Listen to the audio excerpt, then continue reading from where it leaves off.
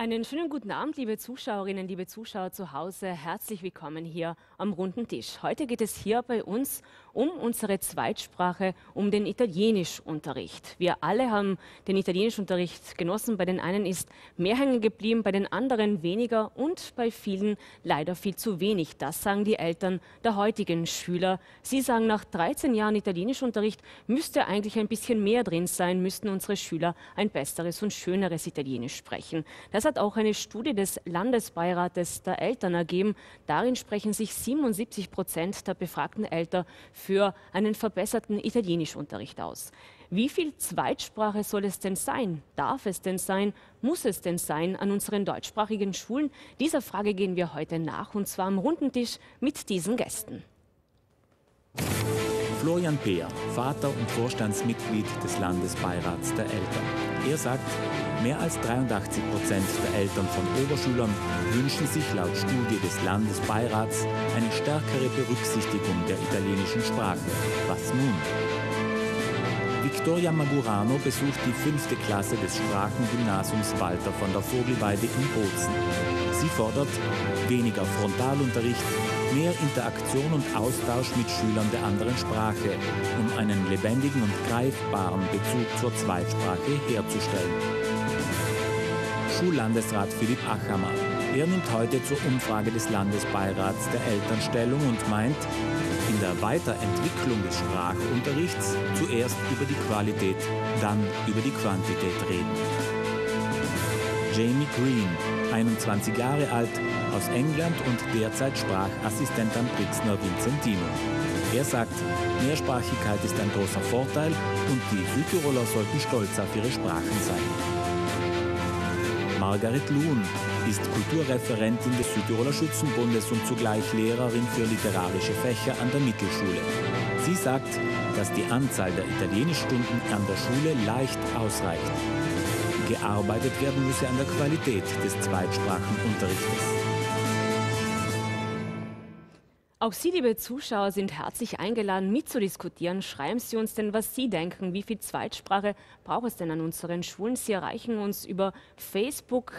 Ähm, Reis Südtirol Forum heißt äh, die Facebook-Seite Twitter at am unterstrich runden unterstrich Tisch und über E-Mail ähm, ähm, runden Tisch at rei.it heißt die E-Mail-Adresse. Ihre Ansprechperson ist mein Kollege Siegfried Kollmann. Er wird Ihre Fragen dann an die Runde weiterleiten.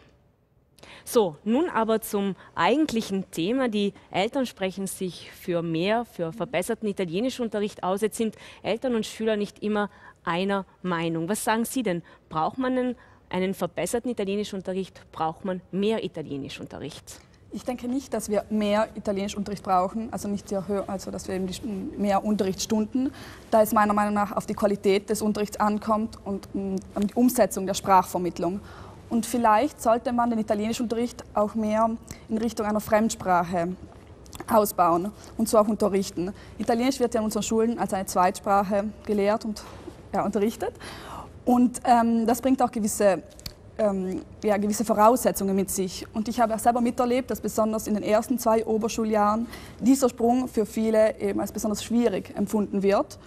Und das hängt natürlich auch damit zusammen, dass vielleicht in den ländlichen Gebieten wenig Kontakt zur italienischen Kulturwelt herrscht und viele dann die italienische Sprache mehr als eine Fremdsprache erleben als eine, als eine Zweitsprache und sich da eben schwer tun. Und Sie sagen, da muss was getan ja, werden. Eindeutig. Jetzt zu Ihnen, Herr Beer. Sie sind Vorstandsmitglied des Landesbeirates der Eltern. Was machen wir denn jetzt ganz konkret mit dieser Umfrage? Es gibt ein Ergebnis, aber dieses Ergebnis sollte dann ja auch zu einem Ziel führen. Was machen wir denn? Äh, was ist denn jetzt die Forderung dieses Landesbeirates? Zunächst muss man sagen, dass es, äh, die Umfrage mal sehr wichtig war für den Landesbeirat an sich, ähm, weil man ist Landesbeirat, man ist delegiert, weiß aber nicht unbedingt, was ist die Meinung der Eltern. Und das war für uns sehr wichtig, dass man einmal wirklich fragt, was ist die Meinung der Eltern. Aber die Meinung steht jetzt fest. Ja. Was, äh, wie schauen nun die konkreten Schritte aus? Was wird denn die Forderung sein? Mehr Immersionsunterricht, äh, mehr Klillunterricht? Wie sieht denn die Forderung aus? Also die Forderung ist sicher nicht, dass wir jetzt sagen, jetzt ist die Umfrage, hier sind die Forderungen, sondern die Umfrage definiert, was wir im LB überhaupt bereden möchten. Das heißt, jetzt gehen wir zurück an die Basis, gehen zu den einzelnen Delegierten in die Bezirksversammlung und dann Vorschläge zu erarbeiten, was man am besten machen kann. Also für uns war es wichtig, einmal zu wissen, das ist die Meinung. Die Meinung der Eltern war jetzt nicht nur in Bezug auf Italienisch, sondern auf viele andere Fragen auch. Das ist ja eine Frage, die rausgenommen wurde für das heutige Thema. Ähm, und in der Frage war jetzt die äh, Meinung der Eltern doch relativ klar ersichtlich. Also Sie wollen sicherlich auch mit dem Schullandesrat, mit Herrn Achammer sprechen. Was äh, werden Sie mit diesem Ergebnis tun, Herr Achammer? Es zeigt doch auf, dass die Eltern unzufrieden sind, dass sie eine Generalüberholung des Italienischunterrichtes sich auch wünschen. Naja, ich würde sagen, das ist eine Grundsatzfrage. Die öffentliche Diskussion ist manches Mal ein bisschen zu simpel. Wir verkürzen eigentlich alles auf die Frage, ist mehr besser oder ist umso früher umso besser? Und beides greift meines Erachtens deutlich zu kurz. Für mich ist das Erste und das Wichtigste, und das haben wir bei sämtlichen Erhebungen, die im Sprachbereich gemacht worden sind, ob es die Kolypsi-Studie der EURAC war, ob es die Lernstandserhebungen in den verschiedenen Schulstufen waren, eines ganz, ganz wesentlich gemerkt, was im Übrigen auch die Sprachdidaktik sagt, die Motivation ist ganz wesentlich und ausschlaggebend für das Sprachlernen. Und es gibt eine sogenannte extrinsische oder intrinsische Motivation, was heißt die extrinsische sagt, ich lerne nur zu einem Zweck oder einem Ziel hin. Oder die intrinsische sagt, bin ich wirklich davon überzeugt, dass mir das einen Vorteil bringt. Und, Und ich behaupte, ganz, ganz, ganz sicher, ich behaupte, dass Mehrsprachigkeit als Reichtum, und das müssen wir uns trauen, auch auszusprechen, in der öffentlichen Diskussion, die politisch-ideologisch viel zu stark behaftet ist, müssen wir uns endlich trauen zu sagen, dass Mehrsprachigkeit ein wirklicher Reichtum ist.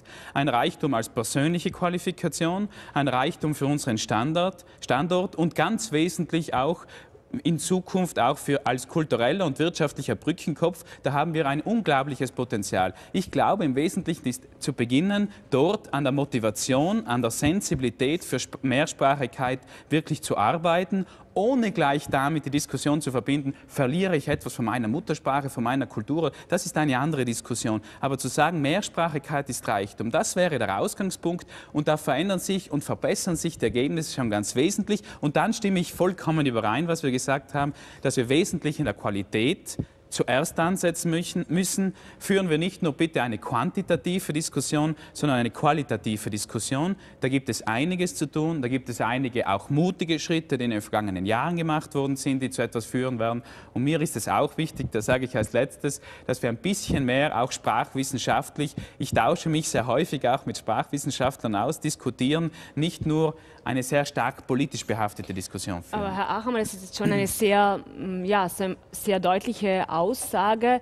In den 70er, 80er Jahren war ja das SVP-Motto noch, je klarer wir trennen, desto besser verstehen wir uns. Sie sagen jetzt, wir müssen einfach näher zusammenrücken, damit auch diese Motivation stärker gegeben ist das zum, mit Sicherheit Begegnung schafft Verständnis, schafft mehr einen Mehrwert, äh, auch in der sprachlichen Anwendung ganz konkret.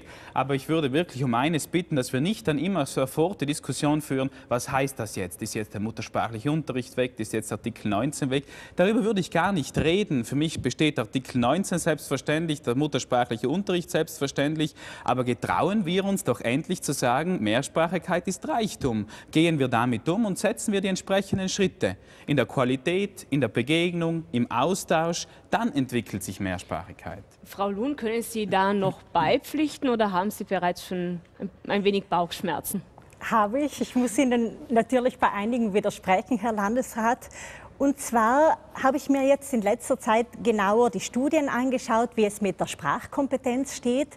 Allgemein ist bekannt, dass die italienische Kenntnisse bei den deutschen Schülern höher sind als die Deutschkenntnisse bei den äh, italienischen Schulen. Das beweisen dann auch die Colipsi-Studie, PISA-Studie und einige andere Untersuchungen, die gemacht worden sind. Allerdings kann man diese beiden Diskussionen nicht getrennt sehen. Denn Sobald wir uns auf Projekte oder so Sprachexperimente wie CLIL einlassen, ist automatisch der Unterricht in der Muttersprache gekürzt. Man kann das nicht schönreden, weil ich habe gerade mit der Schülerin, die heute unter uns ist, äh, darüber gesprochen. Es werden Stunden in Chemie, in anderen Fächern auf Italienisch äh, gehalten. Also hier wird Italienisch gelehrt von deutschsprachigen Lehrern, was schon etwas schwammig ist. Allerdings, was mir hier nicht gefällt, sind einige Sachen. Erstens, ich bin überzeugt, dass lernschwächere Schüler, zum Beispiel in Mathematik, hier stark benachteiligt sind. Oh, wir Frau, können uns Frau nicht. Lund, darf ja? ich kurz unterbrechen? Über Klil sprechen wir noch ja. ausführlicher. Mir würde es einfach am Anfang darum gehen, was ist denn jetzt Ihre Forderung? Sie sagen, wir brauchen nicht mehr Italienischunterricht, sondern wir müssen an der Qualität arbeiten. Aber genau. wie wollen Sie das erreichen? Vor allem vielleicht auch in, in Tälern, wo die Schüler gar nicht so viele Möglichkeiten haben, mhm. Italienisch außerhalb von der Schule zu sprechen, bräuchte es da nicht auch einen intensiveren Austausch in der Schule? Ich kann vollkommen die Eltern verstehen, die unzufrieden sind mit ihren Kindern, mit ihren eigenen Kindern, wenn sie nicht gut Italienisch sprechen. Und ich habe drei Kinder, von denen zwei bereits Italienischunterricht haben. Und ich sehe da große Unterschiede.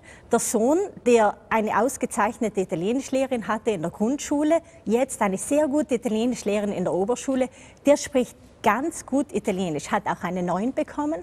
Die Tochter hat in der vierten Klasse schon eine fünfte Italienischlehrerin, spricht nicht so gut. Meine Forderung ist, die Italienischstunden gut zu nutzen und da ist sehr viel zu überdenken. Vom Lehrplan, von der Didaktik, wir werden später sicher noch drüber sprechen. Genau. Und dass man unbedingt schaut, weniger Wechsel zu haben in den Schulen und dass auch die Eltern Eigenverantwortung übernehmen und schauen, wie kann ich mein eigenes Kind fördern. Denn wenn ich mein Kind in Sport fördern möchte, verlange ich auch nicht, dass plötzlich in der Schule zehn Stunden Sport gemacht werden, sondern da muss ich mich drum kümmern. Herr Rachamer, Sie haben bereits... Ja, mir ist nur wichtig, eines festzustellen. Wenn ich in der eigenen Sprache, Kultur, Tradition, in den eigenen Werten gefestigt bin, dann verliere ich nichts, wenn ich jemanden anderen begegne und mit diesem eine andere Sprache spreche. Wir wissen heute, dass die Situation in den Landgemeinden sehr häufig ist, leider, dass zum Teil überhaupt kein Italienisch mehr dort gesprochen wird. Früher vielleicht war noch die Familie da vom Polizeibeamten und von, vom, vom Bahnbeamten oder von der Post war noch ein bisschen italienischen Austausch hatte man. Jetzt ist zum Teil sehr, sehr wenig da, sind, seien wir ganz offen. Und zum Zweiten, ich, ich, erlebe schon ja auch in der öffentlichen Diskussion, ich mache wirklich ein konkretes Beispiel, das mich an und für sich schockiert hat. Vor kurzem haben sich die drei Landesjugendbeiräte der deutschen, italienischen und ladinischen Sprachgruppe zu einer gemeinsamen Sitzung getroffen und ich wurde als Landesrat dafür kritisiert, dass ich eine Vermischung oder Verwässerung betreiben würde. Jetzt frage ich mich schon, wenn sich 17- oder 18-jährige Jugendliche treffen und auch eine andere Sprache äh, sprechen, anwenden, sich begegnen, Verständnis schaffen, wo ist dann Vermischung und Verwässerung? Noch einmal, wenn ich selber gefestigt bin in meiner Muttersprache, in meiner Kultur, dann verliere ich überhaupt nichts, wenn ich eine zweite Sprache gut erlerne. Und nicht dann immer, das ist mir auch wichtig, in der öffentlichen Diskussion heute waren wir noch nicht so weit, aber dann wird immer davon gesprochen, ja, jetzt will man alles hinschmeißen oder alles aufgeben. Darum geht es nicht. Aber ein bisschen entideologisieren, ein bisschen einen ungezwungenen Zugang, eine Begegnung, das würde ich mir wünschen. Bevor wir jetzt ganz in die heiße Diskussion gehen, möchte ich noch ganz herzlich Herrn Green begrüßen. Sie sind Engländer, haben vor zwei Jahren gar nicht gewusst, dass es Südtirol gibt und nun leben und arbeiten Sie hier und äh, sind zufälligerweise eigentlich auf Südtirol gekommen als Aufenthaltsort. Wie ist es denn dazu gekommen, dass Sie nach Südtirol gekommen sind und wie zweisprachig erleben Sie denn dieses Land? Also okay, ich studiere Deutsch und Italienisch an der Uni in England. Deswegen habe ich einen Ort gesucht, wo ich beide Sprachen üben konnte.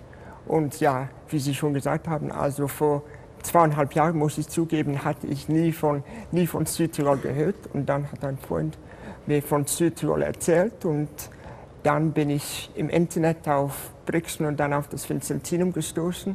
Dann habe ich so eine E-Mail an den Direktor verfasst. Ich, ich habe eigentlich mit einer Antwort nicht gerechnet, aber dann, das hat alles super geklappt und ich bin hierher gekommen, um mein Auslandsjahr zu machen. Sie sind jetzt äh, Sprachassistent am Vincentinum, ja. leben in Brixen, aber wie zweisprachig erleben Sie denn dieses Land, das sich immer äh, als mehrsprachig rühmt? Ja, also das ist eine schwere Frage. Ich kann nur von meiner Erfahrung reden, aber ich bin eigentlich nie auf Probleme gestoßen wegen der Zweisprachigkeit. Ich habe gefunden, dass jeder bereit ist, beide Sprachen zu sprechen. Und ja, das Vincentinum ist natürlich eine deutschsprachige Schule, aber ich besuche auch ab und zu Italienischstunden und darum finde ich, dass es schon dass die Mehrsprachigkeit nur von, von Vorteil ist. Also Sie sagen, Südtirol ist schon ziemlich ähm, mehrsprachig. Da sind jetzt lobende Worte. Wir werden dann hören, dass es nicht immer so ist. Wir haben auch einen Personalberater kontaktiert, der den Arbeitsmarkt besser kennt und sagt, Angebot und Nachfrage treffen sich da nicht immer. Bevor wir jetzt eben aber über CLIL, zweisprachige Schulen und über einen verbesserten Italienischunterricht äh, sprechen, möchte ich wissen, ob es bereits Zuschauerfragen gibt, Siegfried. Gibt es bereits Kommentare, Meinungen? Ja, Fragen noch nicht. Äh, Kommentare sind allerdings äh, eingegangen, zum Beispiel einer von Tini Mantinger. Sie schreibt, wir brauchen nicht noch mehr Italienischunterricht, sondern modernen Italienischunterricht. Und zwar, und das äh, sieht sie, glaube ich, ähnlich wie vorhin äh, Frau Magorano gesagt hat, Italienisch als Fremdsprache. Sie meint da, es funktioniert denn nicht gut, wenn muttersprachliche Italiener Italienisch unterrichten, sondern es müssten kompetente Fremdsprachenlehrer sein, die eben äh, sich bewusst sind, dass die Schüler, dass das für die Schüler auch eine Fremdsprache ist. Ein anderer Kommentar noch von Christian Beer, der sagt, als Vater von drei Kindern wünsche ich mir, dass die Kinder in der Schule besser Italienisch und übrigens auch besser Englisch lernen dürfen als unser einer. Wir sollten den nachfolgenden Generationen diese wertvolle Chance einer Zwei- und Dreisprachigkeit nicht verwehren aufgrund von alten Ängsten und Gesetzen. Das zunächst einmal zwei Meinungen. Liebe Zuseher, schreiben Sie uns Ihre Meinung, stellen Sie auch Fragen an die Studiogäste, an unsere Adressen. Es geht über Facebook, über Twitter oder auch eben über E-Mail, zum Beispiel an die Adresse rundertisch.rai.it. Vielen Dank, Siegfried. Wie gesagt, wir haben einen Personalberater kontaktiert und gefragt, wie denn die Situation auf dem Arbeitsmarkt aussieht. Und er meinte, da hapert es schon noch so ziemlich mit der Zweisprachigkeit. Er sagt, Angebot und Nachfrage treffen, nicht, treffen sich nicht immer, aber hören wir rein, sehen wir selbst rein, was er sagt. Hannes Meyer ist Personalvermittler. Bis zu 400 Personen vermittelt er jährlich in mittlere und höhere Berufe. Das sind zum Beispiel Buchhalter, Verkaufsleiter und Geschäftsführer. Ein Drittel mehr könnten es sein, wenn in der deutschen und in der italienischen Volksgruppe die Kenntnisse der jeweils anderen Sprache besser wären.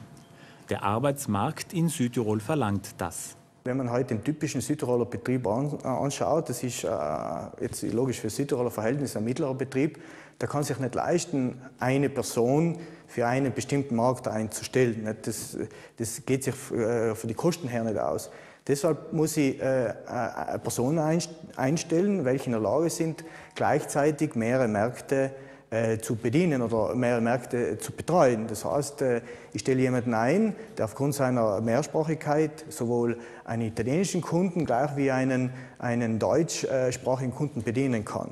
Laut Meyer fehlt es an der Einstellung und der Bereitschaft, Sprachkenntnisse als Wettbewerbsvorteil zu erkennen. In letzter Zeit hat sich die Situation aber gebessert. Die Krise zwingt zur Zweisprachigkeit und das mehrsprachige Angebot der Uni Bozen zeigt Wirkung. Es geht um die Möglichkeit, die Sprache nicht nur passiv zu konsumieren, sondern aktiv zu konsumieren. Das heißt, dass man die Möglichkeit hat, einfach zu sprechen. Und, und das, das, das ist eigentlich das, äh, was auch in, in die Schulen oder in die Ausbildungsstätten Städten äh, gefördert werden soll. Ähm, das Aktive, das Kommunizieren, der Austausch. Noch schwieriger als ein zweisprachiger Geschäftsführer ist freilich ein zweisprachiger Magazineur zu finden. Außerdem fischen im Südtiroler Arbeitsmarkt auch österreichische und deutsche Firmen, die Geschäfte in Italien machen wollen. Und italienische Firmen mit Geschäftsinteressen nördlich der Alpen. Eigentlich gute Möglichkeiten, die sich da Südtirols Jugend bieten. Ich finde, dass man äh, die Kenntnis der beiden Landessprachen einfach als Chance betrachten muss. Als Chance, äh, beruflich äh, durch, besser durchstarten zu können. Nicht? Und wir haben da in Südtirol die besten Voraussetzungen.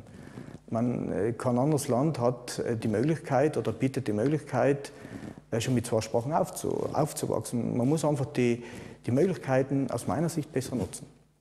Zweisprachigkeit nicht nur als Muss, sondern als Chance sehen. Für die Wirtschaft im Land besteht daran kein Zweifel.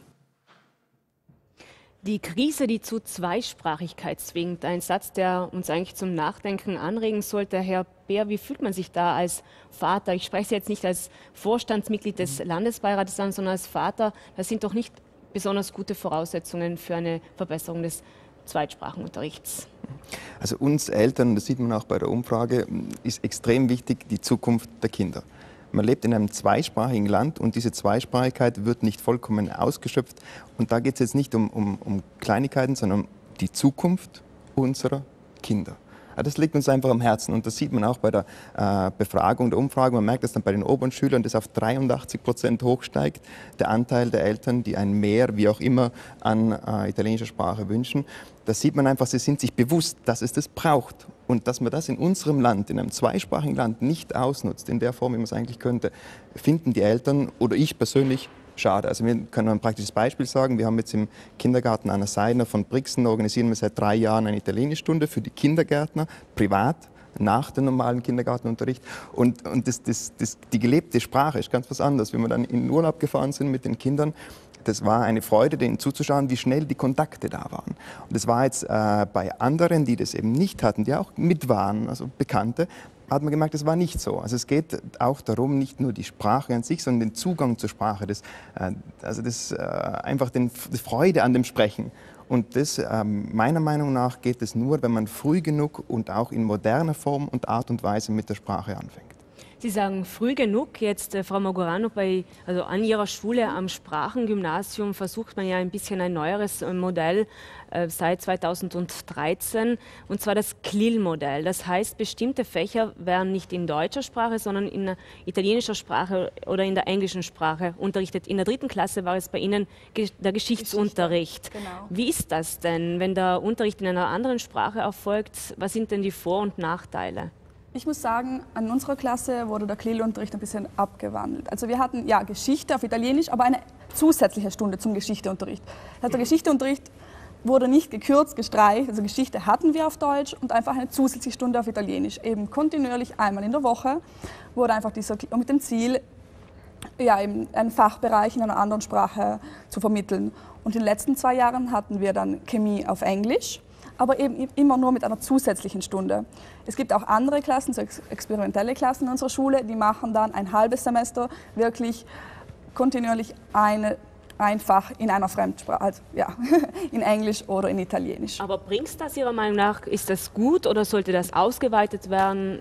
Wie sollte man da vorgehen? Doch, ich finde, es gibt einfach die Möglichkeit, Fach- und Sprachkompetenzen gleichzeitig zu vermitteln und auch die, die, die Terminologie in einer anderen Sprache, damit sie auch zugänglicher wird. Das, ich meine, für, dass man auch in Italienisch danach sich auch besser ausdrücken kann und nicht, ja, dass es einfach wirklich zugänglicher wird und lebendiger und also das Sie vermittelt sagen, einfach. Ja. Sie sagen, es ist ein gutes Projekt, man Doch. sollte das ausweiten es, vielleicht ja, auch. Es ist einfach ausbaufähig. Ich denke, es ist einfach wichtig, dass man auch schon in der Ausbildung der Lehrpersonen äh, Schwerpunkte setzt, um noch mehr Lehrpersonen für dieses Programm zu gewinnen.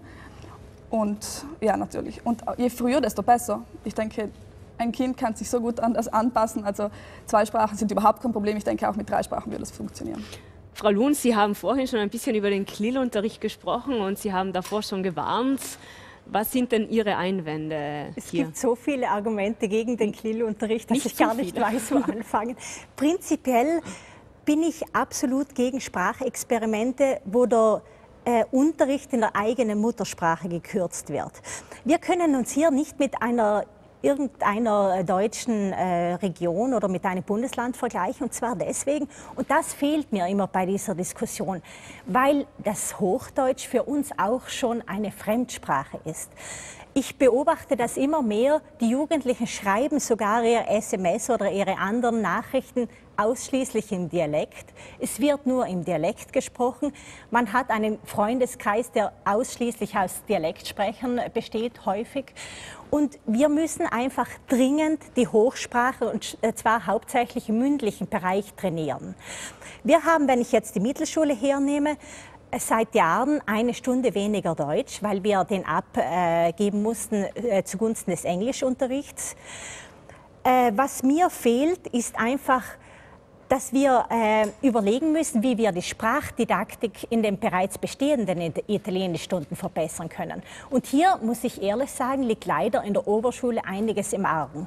Da wird eine sehr veraltete Sprachdidaktik äh, zum Teil angewandt mit sehr viel Frontalunterricht, sehr viel schriftlichen weil wir brauchen, wenn ich jetzt zum Beispiel meine eigene Schulkarriere anschaue, ich habe wahrscheinlich in fünf Jahren Oberschule zusammengezählt nicht eine Stunde gesprochen im Unterricht. Also es wurde das Schriftliche überbewertet und das Mündliche wurde nie gefördert. Und wir müssen hier überlegen, wie können wir den Lehrplan ändern.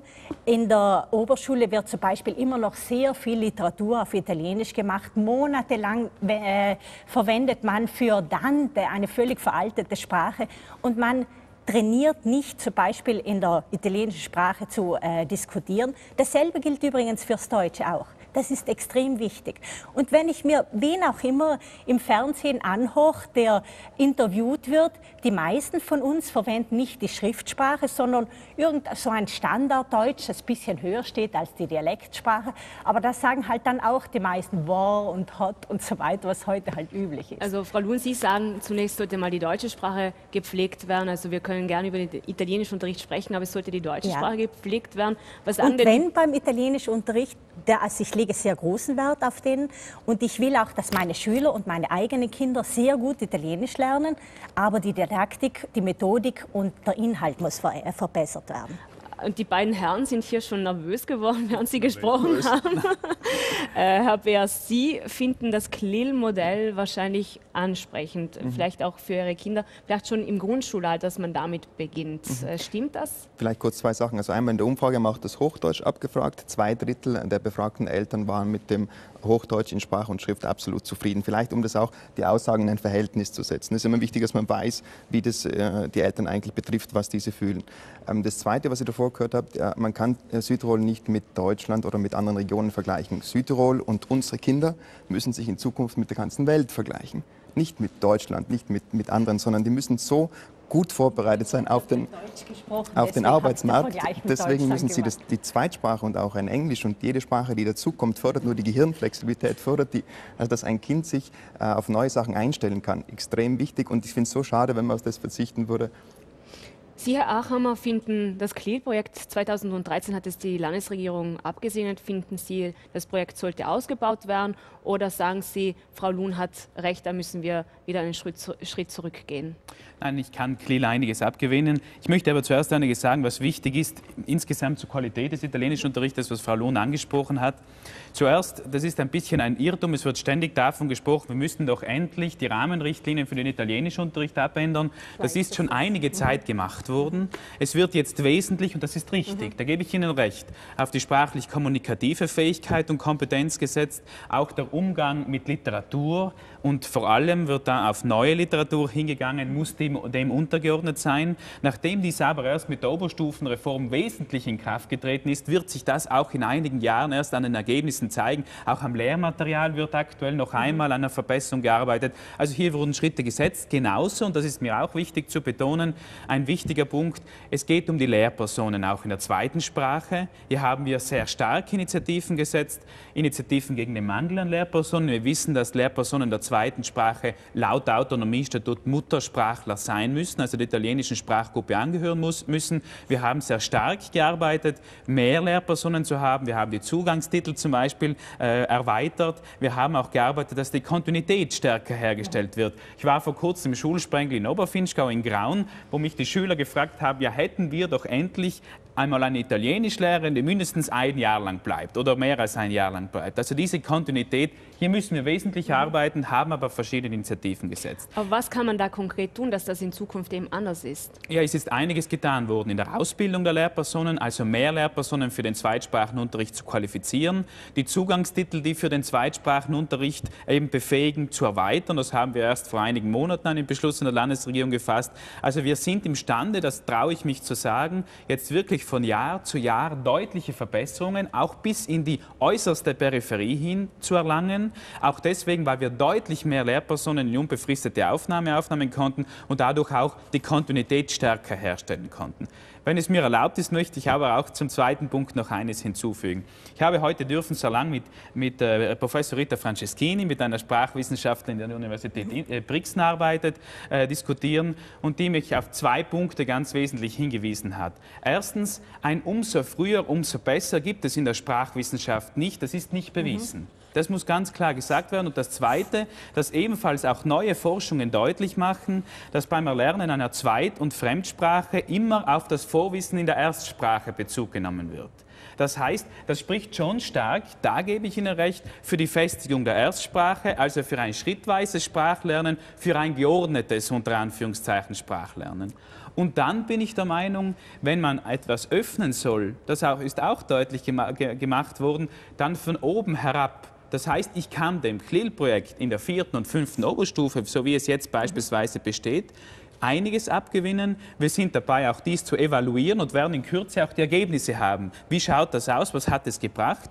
Es schaut so aus, dass es einiges gebracht hat. Und wenn es einiges gebracht hat, dann bin ich auch der Überzeugung, dass man CLIL in der Oberstufe zum Beispiel sehr gut anwenden kann mit der Voraussetzung, dass auch Lehrpersonen sprachdidaktisch ausreichend dafür vorbereitet werden. Also ich bin nur dafür, dass wir nicht so sehr simpel sagen, Menge macht es aus, umso früher, umso besser. Es muss uns in erster Linie um Qualität gehen, im Unterricht selber und dann auch in der Vorbereitung auf zum Beispiel auf ein CLIL-Projekt, vor allem sprachdidaktische Vorbereitung. Und das Letzte, wir arbeiten zum Beispiel auch ganz stark irgendwo an einem Mehrsprachencurriculum. Was heißt überhaupt Mehrsprachigkeit? Wie gehen wir mit Mehrsprachigkeit um? Da geht es nicht einfach nur Hauptsache so viel wie möglich, sondern wie geht man von Sprache zu Sprache aufeinander ein? Wie schließt man oder springt auch oder macht Brücken von einer Sprache zur nächsten? Was heißt Mehrsprachigkeit als Wert überhaupt? Welchen Bezug stellt es zu meiner Muttersprache her? Also wirklich für ein gutes, geordnetes, qualitatives Sprachenlernen. Herr Peer, überzeugt Sie das? Reicht das aus oder sagen Sie, das sind schöne Worte, wir müssen aber noch mehr fordern, vielleicht auch, äh, wir brauchen einfach mehr? Also ich denke, die Eltern fordern. Also die Eltern fordern durch die Umfrage eindeutig. Äh, daran äh, ändert sich äh, nichts. Ich denke, das ist ein wichtiger Schritt, was mit dem KLIL-Gesetz gemacht wurde. Nur die Realität sieht anders aus. Also bei mir in der Grundschule, meine Tochter, ähm, war Schulratssitzung, dann wurde mir gesagt, ja, wir bekommen jetzt 15 Stunden KLIL. Wahnsinn, 15 Stunden Grill die Woche, das, äh, hätte ich nie gedacht. Das die war Tochter besucht welche? Die zweite, die, ja, damals die erste, die zweite die Grundschule. Okay. Ja.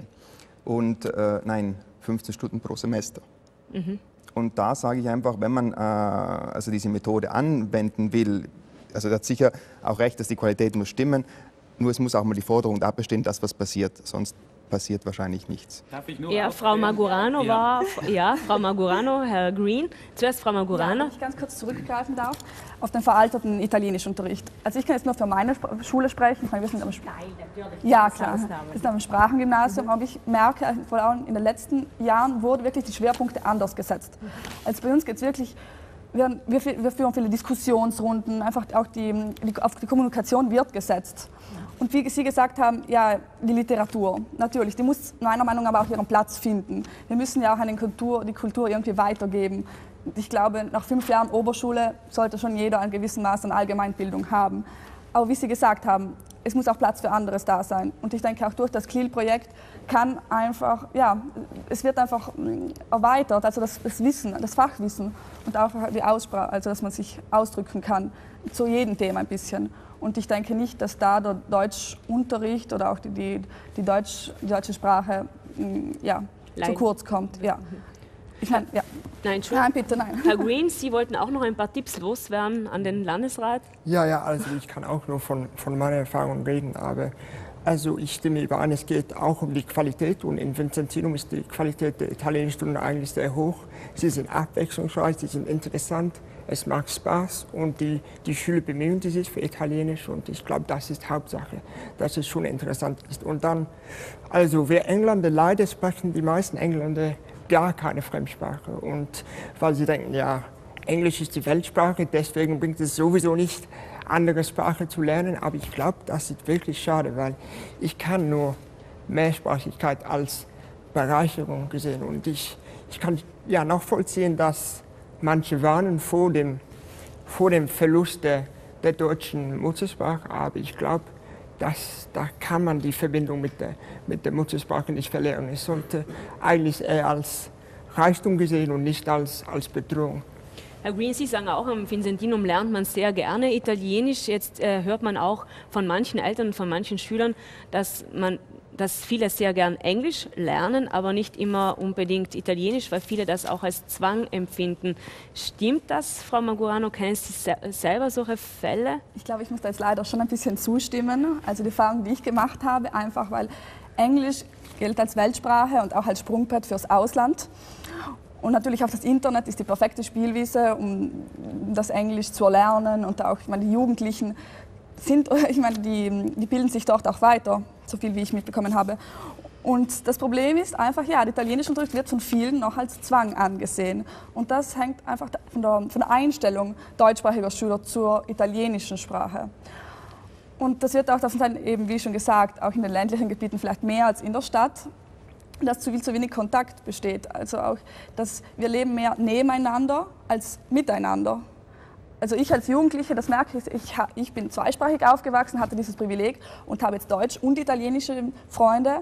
Aber ich sehe, das ist wirklich ein Problem. Also es sind die Deutschen und die Italiener und wir, ich meine, wir haben die Schulen nebeneinander und beispielsweise. Sie wohnen in Bozen? Aber, ja, ich also wohne in Bozen. Und das ist wirklich sehr, sehr schwer. Auch in, in, unserer Schule wurden auch in den ersten zwei Jahren wurden auch so Austausche gemacht. Aber auch hier ist es schwer. Also die, die, die Schüler gehen nicht auf sich zu. Und das muss wirklich da, das muss noch Herr Achammer, Frau Luhn, was machen wir da? Sind da die Eltern gefragt oder ist da die Schule gefragt? Zunächst Herr Achammer. Die Eltern haben eine ganz wesentliche Funktion im Sprachlernen und auch eine ganz wesentliche Verantwortung in der Sprachbegleitung. Das muss gesagt werden. Und ich kann der Einspielung vorher oder absolut zustimmen zu sagen, sehen wir Mehrsprachigkeit als Chance. Ich habe vor kurzem mit einem Unternehmer, der in Bozen äh, seinen Sitz eines international tätigen Unternehmens hat, und ich habe ihn gefragt, es gäbe ja eigentlich genügend Gründe zu sagen, die Unternehmenssteuer ist in Österreich niedriger, warum wandern sie nicht mit ihrem Sitz ab? Und er hat mir wirklich genannt, für ihn ist entscheidend, der Brückenkopf zwischen dem deutschen und italienischen Wirtschaftsraum, das ist ein unglaubliches Potenzial, die Begegnung zweier Märkte, das ist einfach auch ein eine wirtschaftliche Chance für Südtirol. Wir müssen der Realität ins Auge schauen. Ich möchte möchte aber danach auch für die Zuschauer, wenn ich es mir erlaubt Aber nur kurz, wir müssen dann auch noch Zuschauerfragen einblenden. Ganz kurz über das CLIL überhaupt auch aufklären, weil ich glaube, dass noch nicht alle wissen, was überhaupt heute möglich ist und was CLIL überhaupt bedeutet. Dieses Integrated Language Learning heißt, dass ich einen gewissen Anteil eines Unterrichtsfaches in einer zweiten oder einer Fremdsprache absolvieren kann. Heute gibt es zwei Möglichkeiten dazu. Wir haben ein projektbezogenes CLIL, das für alle Schulstufen gilt. In allen Schulstufen kann in zwei Unterrichtsfächern bis zu 50 Prozent des Jahresstundenkontingentes in einer Zweit- oder äh, Fremdsprache absolviert werden. Der Unterschied zu dem in der Oberstufe ist, dass das jeweilige Unterrichtsstoff auch in der Muttersprache noch einmal vermittelt wird. Aber das gibt es für alle Schulstufen in zwei Unterrichtsfächern bis zu 50 Prozent bereits heute.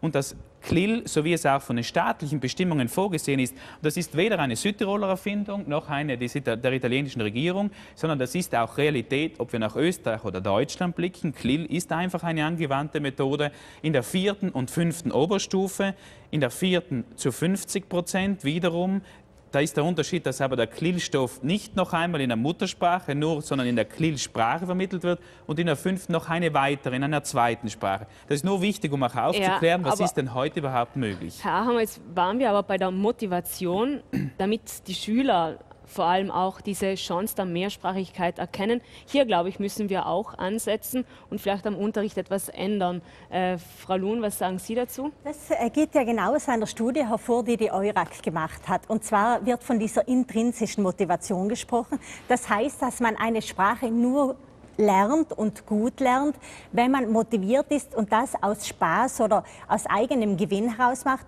und nicht berechnend, ich brauche das, damit ich einmal in der Arbeitswelt besser bestehen kann und so weiter. Und da muss ich sagen, sind nicht nur die Schulen gefordert, sondern auch die Eltern, was ich vorher schon angesprochen habe. Aber, das möchte ich noch einmal unterstreichen, ich bin gegen jedes Sprachexperiment, wo der muttersprachliche Unterricht beeinträchtigt wird, weil da der Sprachunterricht immer über den Fachunterricht gestellt wird. Und das finde ich bedenklich. Bei dieser Lösung, wo die Stunden angehängt werden, dann geht das für mich gut. Und deswegen sollten die Schulen vielleicht viel mehr Wahlfächer anbieten, die Deutschen äh, vielleicht Italienisch oder auch andere Fächer und umgekehrt, weil mir fehlt da auch die Differenzierung. Weil Schüler als ich zum Beispiel die Oberschule besucht habe, waren elf Schüler in meiner Klasse zweisprachig von der Familie aus die haben andere Voraussetzungen. Und hier muss differenziert werden. Also Schüler, die perfekt schon Italienisch können, die haben andere Voraussetzungen wie die deutschen Schüler. Und ein deutscher Schüler, das habe ich auch schon erwähnt, der nicht gut in Mathematik oder in einem anderen Fach ist, der ist extrem benachteiligt. Jetzt hat der aber eigentlich das, äh, den Artikel 19 vom Autonomiestatut im Rücken. Der ist benachteiligt. Der könnte eigentlich sagen, Moment, ich habe das Recht, dieses Fach in der deutschen Muttersprache zu hören. Und ich glaube, dass das rechtlich, ehrlich gesagt, Herr Achammer, nicht ganz in Ordnung ist. So, jetzt müssen wir Dieses aber noch kurz äh, die, also die Eltern fragen. Herr Bär, wir haben gehört, die Eltern sind verantwortlich, aber eben auch die Schule. Wie sehe denn Ihre perfekte Lösung aus, um dieses, sagen wir so, Zweitsprachendilemma zu lösen? Also jetzt vielleicht einmal als, als äh, Elternteil, also genau. nicht als Vertreter des LBS, Nein, genau. sondern als Elternteil. als Elternteil. Also ähm, meine Kinder wachsen zweisprachig auf, Spanisch und Deutsch und haben jetzt so früh wie möglich mit Italienisch angefangen und ich kann nur Positives darüber berichten. Ähm, vor allem das Anfängliche, ähm, wenn man früh genug das lernt, also aus der persönlichen Erfahrung heraus, ähm, schafft die Brücke, dass man es gleich mal anwendet, dass man Spaß und Motivation dazu findet, das auch so zu machen. Ähm, ich denke, wenn man zu spät mit, äh, mit der Sprache anfängt, dann äh, geht das wieder hinein zusammen mit der Motivation. Also die, meine Tochter am Strand mit der italienischen Freundin spielen, war mir, äh, mir das Herz aufgegangen. Ich habe gesagt, so, also wenn, jemand, wenn das für alle so ginge, dann wäre das für das Land Südtirol und für unsere Kinder und für die Zukunft ein sehr, sehr großer Gewinn. So, die Zeit läuft. Wir müssen ganz kurz zu den Zuschauerfragen äh, schalten. Äh, Siegfried, gibt es schon Stimmungen, gibt es Kommentare, gibt es ja, Meinungen? Es gibt, es gibt, sehr viele Kommentare, also ein Thema, das äh, sehr viele Menschen bewegt und interessiert. Andreas Baumgartner schreibt uns, ich habe in der Oberschule im Italienischunterricht nur Literatur gelernt, kein Sprachenlernen mehr. Das hat mich demotiviert. Stefanie Mulser schreibt, es macht keinen Sinn, wenn man die Divina Commedia auswendig nacherzählen kann, aber nicht einmal ein belegtes Brot auf Italienisch bestellen kann. Wolfgang Jud als Lehrer der Oberschule schreibt er, bin ich der Meinung, dass die Stundenzahl, wohl italienisch, auf keinen Fall erhöht werden darf. Klill bietet hier eine echte Alternative, äh, wenn es nicht bei bloßem Übersetzungsunterricht bleibt. Und das ist eben eine große Arbeit, die auf die Lehrpersonen zukommt, wenn sie es richtig machen wollen. Es haben uns auch Ladiner, sogar einige Ladiner geschrieben, fällt auf, haben sich heute oder beteiligen sich rege daran. Paolo Prinot zum Beispiel, der schreibt, äh, Ladiner sind meist dreisprachig und sie er meint uns, diskutieren hier noch über die Zweisprachigkeit. Oder Paul Demetz, der schreibt, um die verschiedenen Sprachen zu lernen, glaube ich, wäre das paritätische System das Beste. Dieses paritätische System spielt auch in der nächsten Wortmeldung eine Rolle mit einer Frage, die ich äh, an die Frau Luhn richte. Äh, Martina Malsiner schreibt da, die Ladiner in Südtirol bewältigen seit jeher die Pflichtschule zur Hälfte auf Italienisch und zur Hälfte auf Deutsch. Und äh, der Unterricht der eigentlichen Muttersprache des Ladinischen, der wird in zwei Wochenstunden bewältigt. Wieso sollten sich die restlichen Südtiroler also davor fürchten, wenn mehr Italienisch bzw. Deutsch in den Schulen unterrichtet wird, Frau Luhn? Ich habe eingangs schon einmal äh, einen Teil dieser Frage beantwortet. Und zwar, weil bei uns einfach dieser große Unterschied besteht zwischen Dialekt und Schriftsprache. Die Ladiner sprechen ihr Ladinisch eh schon jedes, äh, ist anders in jedem Tal. Und bei uns ist es so, dass wir uns fast schämen, wenn wir in Deutschland sind oder in Österreich sind, wenn wir Hochdeutsch sprechen müssen. Und das finde ich sehr bedenklich.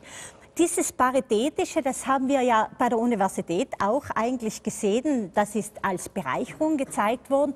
Prinzipiell, also nicht, dass ich falsch verstanden werde, finde ich, äh, ist die Mehrsprachigkeit eine Bereicherung. Nur wenn ich mir jetzt die Universität anschaue, und da möchte ich etwas äh, sagen, was bei der ja, ganz kurz. Äh, bei der Eröffnung des äh, heurigen Studienjahrs haben sich drei Studentenvertreter zu Wort gemeldet, unter anderem Barbara Prioni. Und die haben etwas angeklagt, was mir zu denken gegeben hat.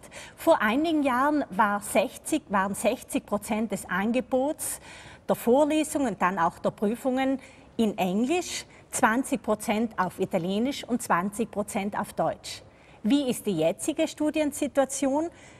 Immer noch 60 Prozent Englisch, 30 Prozent Italienisch und nur mehr 10 Prozent Deutsch. Und das ist etwas ganz Typisches für diese Sprachprojekte.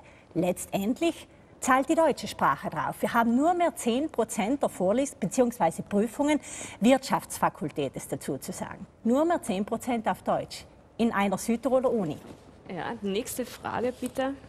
Äh, eine Frage, ja, Simon Beintner, ähm, dem Bild nach zu urteilen, ein Jugendlicher, wahrscheinlich ein Oberschüler, der äh, schreibt, ich habe auch Erfahrung mit dem CLIL-Modell und er meint, es ist vor allem von der Lehrperson abhängig, wie gut die das eben macht. Und die Frage dazu, glaube ich, müssen wir nicht unbedingt beantworten. Äh, könnte man nicht die Fremdsprachen viel spielerischer entdecken mit Filmen oder Spielen? Herr Green, was sagen Sie dazu? Ihnen brennt schon länger was unter den Nägeln.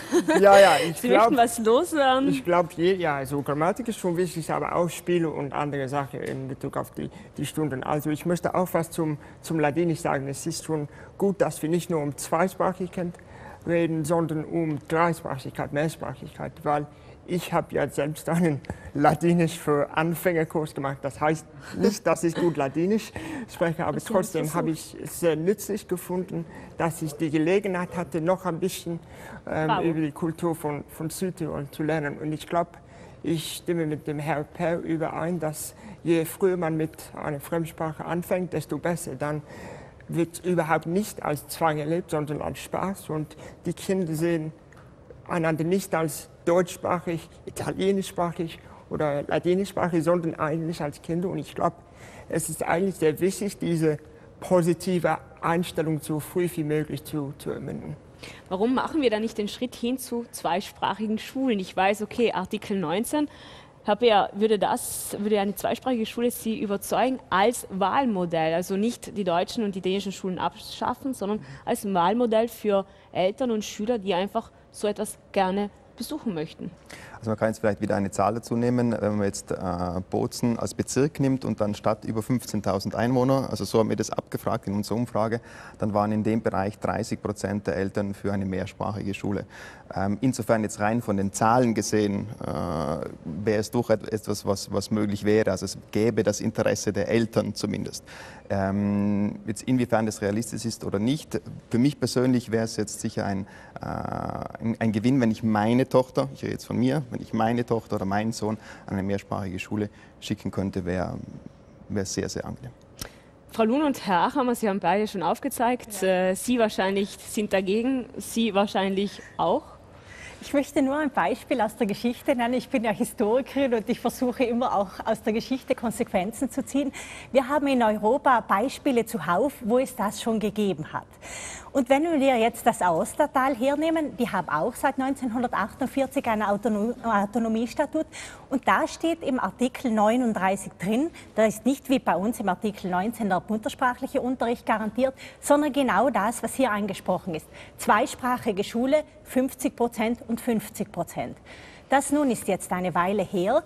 Die Folge ist, dass dermaßen der Anteil der Französischsprachigen zurückgegangen ist, dass heute sage und schreibe zwei Prozent nur mehr Französisch als Muttersprache angeben. Die haben begonnen mit einer zweisprachigen Schule. Und das ist, ich weiß schon, ich werde da immer belächelt, weil ich Angst habe, dass das Deutsche irgendwie benachteiligt wird und so weiter. Aber so eine Sprache geht, wie uns Geschichte lehrt, in zwei Generationen unter. Schreckt Sie das auch ab, Herr Achammer? Ich bin deshalb nicht überzeugt davon, wie ich vorher schon ausgeführt, weil es zum einen immer von der Quantität ausgeht, Hauptsache wir haben mehr, dann ist es gut, das ist ein Druckschluss zum Ersten und zum Zweiten ist es wichtig, die Festigung in der Erstsprache, so wie vorher auch sprachwissenschaftlich durchaus bewiesen, dass das wesentlich ist. Mir ist nur eines wichtig zu sagen, es ist genau das, was Herr Green gesagt hat, nämlich den Nutzen in der zweiten Sprache, in der Fremdsprache zu erkennen, die Neugier dafür zu haben, sie anzuwenden, auch in der Begegnung und da haben wir viel noch zu tun und mir ist eines auch mal wichtig zu unterstreichen. Ich glaube, wir wissen zum Teil gar nicht, wie wertvolle Projekte es heute in verschiedenen Schulen schon gibt. Ob im Schüleraustausch, im Lehreraustausch, haben wir der Tagesschau, wie vor Bozen gehört. Es gibt ein Projekt in Alexander Langer Schule in Bozen, wo ein Austausch vor allem, weil in der gleichen Schulstruktur im Wahlpflichtbereich stattfindet, ein hermeneutischer Ansatz. Wir haben in der Grundschule Bachlechner im Grunde keinen wunderbaren Sprachenzug, wo man versucht, Deutsch, Italienisch und Englisch in vier Wochenstunden anzuwenden. Also es gibt so viel, was auch in der Autonomie der Schule passiert. Darin sollten wir Schule wirklich stärken, weil das bringt den wirklichen Fortschritt, aber nicht nur einfach ein, ein äh, Springen nach vorne, sondern ein gutes Vorbereiten, ein qualitativ gutes Vorbereiten, das liegt mir am Herzen, weil nur so kann auch Mehrsprachigkeit wachsen. Frau Magurano, ja. ähm, Ganz kurz. Ja, zweisprachige Schulen, ja, nein? Also ganz ehrlich, ich würde sofort gehen. Und ich bin ja auch zweisprachig aufgewachsen, also würde ich sagen, okay, ich habe schon meine Basis, ich bin schon da, aber ich würde, also ich werde wirklich also für eine zweisprachige Schule. Und ich muss auch zustimmen, ja, die, die deutsche Hochsprache muss gepflegt werden und die darf auch nicht zu kurz kommen. Aber ich glaube, wir müssen wirklich ein bisschen auch nach vorne schauen und auch ein bisschen, ein bisschen Mut fassen für diese neuen Ideen. Und ich denke, ja, Sie sagen also über den Schatten springen, wir sollten Doch, weil einfach wir haben etwas einfach Neues die probieren. Möglichkeit, wie wir schon gesagt haben. Wir sind ein zweisprachiges Land. Und wieso sollen wir uns da hemmen und zurücknehmen? Und, weil ja, man kann auch in Südtirol mit nur einer Sprache gut vorankommen. Ich meine, man hat ja das Recht, das ist ja auch unser Privileg, in unserer Muttersprache, in den öffentlichen Ämtern ähm, sich zu unterhalten und auch dies dann anzufordern. Aber ich denke, wieso, wenn wir schon hier leben, die Möglichkeit haben und auch so vom Ausland teilweise auch so angesehen werden und ja, okay, wir sind zweisprachig super, aber wieso wir uns da jetzt selber eben zurücknehmen sollen und nicht noch mehr das vertiefen. Herr Green? Ja, wenn ich was Kurzes von einem englischen Standpunkt sagen kann, dann Gerne. also viele meiner viele meiner Freunde in England finden es schon erstaunlich, dass die Südtiroler zweisprachig oder sogar dreisprachig sind. Und das, ich glaube, das ist so eine Gelegenheit, die die Südtiroler so weit wie möglich ausnutzen sollten. Und dann, nur weil man also zweisprachig, dreisprachig ist, das heißt nicht, dass man die Identität verliert oder sowas. Ich glaube, das ist nur, also, weil ich spreche ganz viel Deutsch hier in Südtirol, aber ich habe nicht Englisch vergessen oder so, aber ich, glaube, das kann nur als etwas sehr positiv sein. Und ja, ich finde das schon sehr. Wie, wie viel sprechen Sie eigentlich auch Italienisch in Brixen? Ja, also das ist, das ist schon eine andere Frage. Also in der Schule nicht so viel. Also ich bin ab und zu in den italienischen Stunden. Ich kann mit den Lehrern auch auf Italienisch sprechen, aber außerhalb der Schule habe ich schon ein paar mehr Gelegenheiten auch versucht, um Italienisch zu sprechen. Und ich glaube, das ist schon wichtig zu wissen, dass man, es ist immer möglich, hier zwei Sprachen zu, zu sprechen. Und in England ist das überhaupt nicht der Fall. Deswegen sollten wir das, das weiter betonen, dass für die Kinder auch sollen wir ermünden sie so, es als eine Bereicherung, eine große Bereicherung zu, zu sehen und nicht als Bedrohung der, der Identität. Aber ich glaube, wenn ich da einhaken darf, weil es wird vielleicht uns Schützen vorgeworfen oder so, dass wir das gleich als Bedrohung sehen, dem ist absolut nicht so. Wir möchten einfach nur, dass wir auch die Muttersprache als Hochsprache gut beherrschen. Was äh, hier noch dazu zu erwähnen ist dieser Kontakt. Wir haben sogar beim Schützenbund ein eigenes Projekt äh, für Schüleraustausch laufen. Und zwar äh, arbeiten wir ja eng mit dem Welschtiroler Schützenbund im Trentino zusammen. Also Kinder oder Jugendliche von dort können im Sommer einige Zeit bei einer Familie in Südtirol oder in Nordtirol oder in Osttirol verbringen und umgekehrt. Frau jetzt ist haben wir noch ein bisschen. Werbung gemacht für den Sprachaufenthalt des Schützenbundes. Den Eltern, also ich möchte Ihnen als Vater das Schlusswort geben, denn von den Eltern geht ja auch diese Forderung aus nach einem verbesserten italienischen Unterricht. Welches Fazit ziehen wir denn jetzt aus dieser Diskussion? Vielleicht auch, äh, welches Fazit äh, ziehen Sie daraus, um dann eine ganz konkrete Forderung zu formulieren, vielleicht auch dann im Namen vieler Eltern? Also die Forderung wird jetzt konkret sicherlich äh, nicht kommen, weil man es erst aufarbeiten muss, aber äh, die Eltern an sich ganz klar Zukunft, Zukunft der Kinder, Zweisprachigkeit nutzen. Haben wir hier gehört, von, äh, dass es einfach ein, extreme, ein extremer Vorteil ist für die Zukunft unserer Kinder. Und ich bin aber zuversichtlich, dass das auch äh, besser funktionieren, besser klappen wird, dass nicht nur die Gesetze da sind, sondern dass die Schule auch diese wirklich umsetzt. Das ist ja auch ein zweiter Punkt, es kann ein Gesetz geben, aber vielleicht kommt es in den Schulen dann nicht so wie ursprünglich angedacht an. Also Zukunft, Mehrsprachigkeit sind für alle von von uns und für unsere Kinder absolut von Vorteil. Also Sie sind optimistisch, dass sich da was Ja. bewegt, dass sich da Die was Vernunft tut. siegt. Herr Achammer, Sie haben jetzt ein bisschen Druck bekommen. Ich bin, ich bin, nein, ich bin absolut, ich wünsche mir, dass ein ungezwungener, unverkrampfter und entideologisierter Zugang zur Mehrsprachigkeit stattfindet, damit wir Mehrsprachigkeit, und das sollen wir bewusst aussprechen, endlich als Reichtum wahrnehmen können und Begegnung als Reichtum wahrnehmen. Dann tut sich ganz, ganz viel und in dem Sinne kann ich den Forderungen der Eltern nur zustimmen. So, und die Zeit ist leider um. Es war eine sehr hitzige Diskussion, eine sehr spannende Diskussion. Ich glaube, viele zu Hause werden auch darüber noch weiter diskutieren. Wir werden es vielleicht hier auch noch ein wenig tun. Wie gesagt, die Diskussion dauert an. Ich hoffe, es gibt dann konkrete Lösungen auch und ich wünsche allen gutes Gelingen bei der Ausarbeitung dieser Lösungen, den Schulverantwortlichen, den Eltern, vor allem aber auch dann den Schülern, die letztendlich dann von diesem Italienischunterricht profitieren sollen. Vielen Dank auch Ihnen zu Hause, liebe Zuschauer, fürs Mitmachen, fürs Mitdiskutieren. Ich wünsche Ihnen noch einen schönen Abend. Machen Sie es gut. Auf Wiedersehen.